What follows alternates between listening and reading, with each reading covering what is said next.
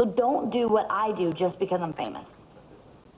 I think what Hannah's saying here is her likes and dislikes are no more important than yours. Self-worth comes from you, not from others.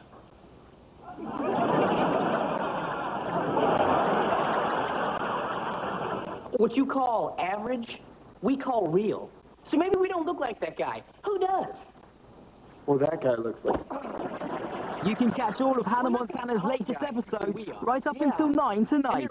And there's one for you to enjoy right now. compromise our integrity ever again. Ever again.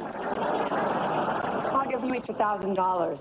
So like mildly dumb or super dumb? We can do it all.